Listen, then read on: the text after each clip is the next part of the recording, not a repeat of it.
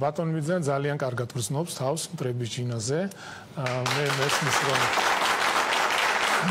ესეც ესეც მიზან მიმართულად ხდება ამჭორების გავრცელება და ამის გამავრცელებელი არის ნაციონალური მოძრაობა და მათი მედია საშუალებები.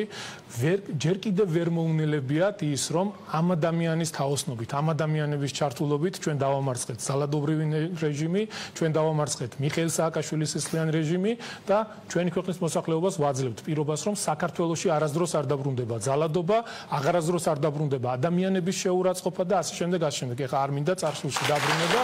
ყველამ კარგად იცით რა ხდებოდა წლების განმავლობაში. ბატონო კახე, თქვენს გამოსვლაში იყო ძალიან საინტერესო აქცენტი თბილისის